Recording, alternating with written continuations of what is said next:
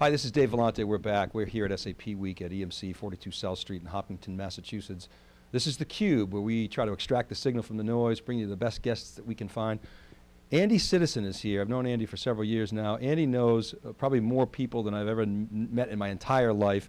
Andy, you're very well connected, and this is really your event. You're running a series of these SAP events. Uh, you must be thrilled that you can get 200 customers in collaborating, talking about SAP, talking about virtualization, EMC, business value.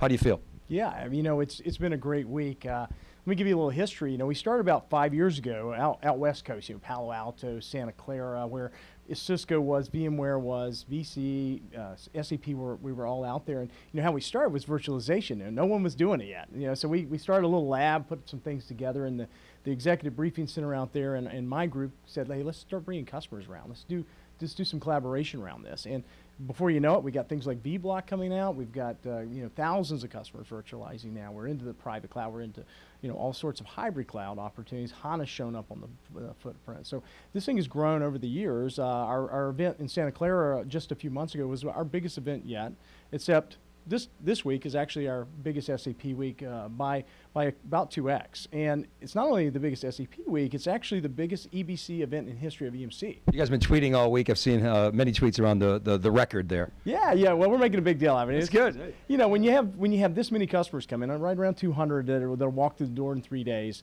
Uh, it's it's it's not about any individual presentation or any expert. It's about having 15 or 20 experts. It's about having so many customers sharing in the experience. And, and one thing we do is we don't allow presentations to overrule the activity. And the, the agendas are owned by the customer. The whiteboards have to be used. And our, our speakers come in and talk about their business. They don't talk about the, the the marketing slides. They'd come in and talk about their business, how they're engaging with customers. So what's the conversation like, uh, like inside the, the, the amphitheater? Well, you know what? It's, it's as much for us as it is anybody because if I can sit down with SAP and Cisco in the same room with a customer and they tell us to do three things, six months from now, that might be our best offering, our best product, our best solution for our customer. So a lot of this is really uh, you know, taking guys that have had 20 years experience, some of them from Walldorf, some from Palo Alto, sitting with a customer that's worked, you know, a couple deployments themselves, and, you know, getting around that and, and, and talking about, okay, what's next? How's things evolving? Do I do this now? Do I do that now? And, and taking their requirements and applying the generalities. What are the things they're telling you that would, um, so they're obviously happy. You have 200 customers here. I mean, that's impressive. SAP's here. You got a lot of your executives here. What do they want to see next? What's on your to-do list that customers are telling you? Well, there's the boring and the new, right? The boring is customers still want to virtualize. They want to talk about private cloud. I say it's boring because we've gotten there. We've gotten over that wave. I was saying a minute ago, riding our own wave internally. You know, we've got a great story at EMCIT. Um, we have a lot of customers that have done it. So many of these customers are now lining up saying, hey, I want my benefits too, right? So they're trying to figure out how do you do that, you know, and in different flavors and different dosing.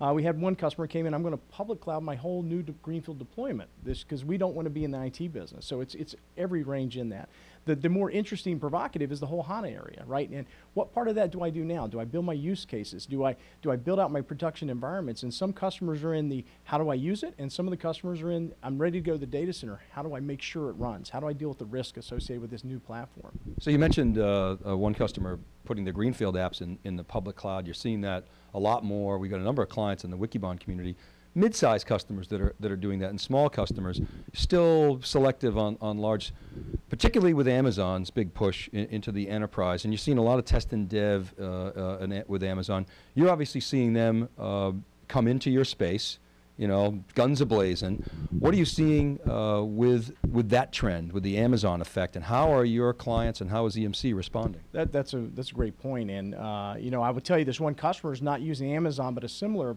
uh, partner for, for their, what I'll call sandbox and test dev. And what we took them through was our Velocity program. You know, they want to run it in Germany. They want to have platinum service. They want to possibly run as a service or possibly host part of it. We took them through all our partners that do run in Germany, have platinum programs with us that run SAP, that have it as a service, have it in different flavors. And you know, we have 120 customer uh, partners in that, that Velocity program now. Uh, many of them run SAP. So we, we, we have offerings to provide them. Now, I will tell you, we have many customers that choose for agility to provision on various clouds today.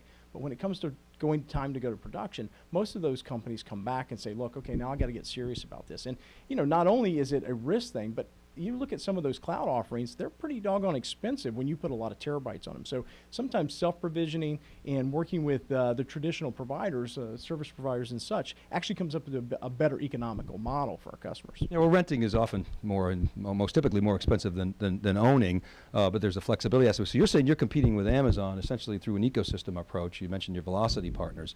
Um, can they move as fast as Amazon? Can you move as fast as Amazon? That's, that's a great question. So I, I won't go through all the names, but uh, we have all the change agents, the SIs that we work with, and we have all the SP partners. And yes, some of these customer, these partners have developed programs that they can roll it out in three, five, ten weeks for our customers. And, and what's what's interesting here is it's, it's not just that we're selling together. It's that we're at the whiteboard, we're at the engineering uh, uh, uh, rooms and labs together, and we're building run books. We're, we're making sure that they have better, more flexible, and more consumable offerings, which is ultimately about agility.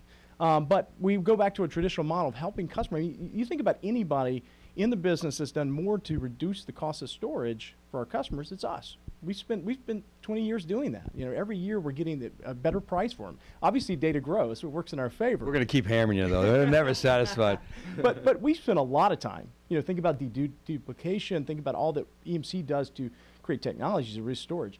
We're bringing that to the table in the new economy. Yeah, the storage business has a pretty good track record of keeping prices down, but as I say, it's, it's never ending. Andy Sitison, thanks very much for coming on. I appreciate to see it. you. Good to Thanks see for you. coming. All right, everybody, this is Dave Vellante. Keep it right there. We'll be right back from 42 South Street in Hopkinton, Massachusetts.